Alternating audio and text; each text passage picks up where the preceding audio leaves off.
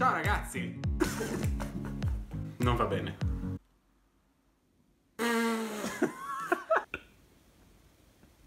ok.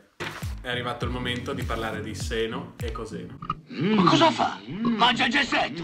Il seno sarà la coordinata y del punto di intersezione tra la circonferenza unitaria e la semiretta che definisce l'angolo.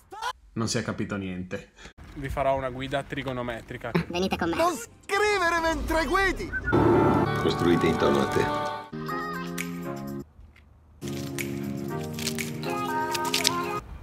Ok. Aspetta. Asse delle x, asse delle y, origine.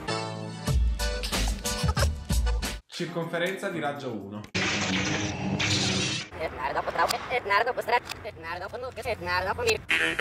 Dato un angolo qualsiasi, il coseno sarà dato dalla proiezione di questo segmento sull'asse delle x.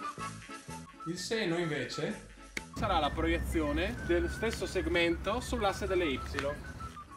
Refresh sugli angoli. Mi mangio un pi greco quarti. Vediamo seno e coseno per alcuni angoli del primo quadrante. Come primo esempio abbiamo l'angolo 0. Il coseno varrà 1, il seno 0. Un altro angolo è greco mezzi.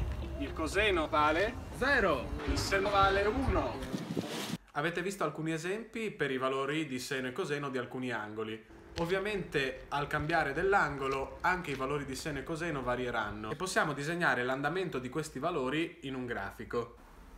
Possiamo disegnare.